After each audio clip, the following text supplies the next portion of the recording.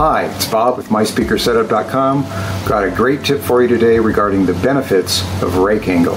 Simply by tilting your speakers back a little bit, the sound blossoms and everything ends up at the proper height. Go to MySpeakerSetup.com for more information.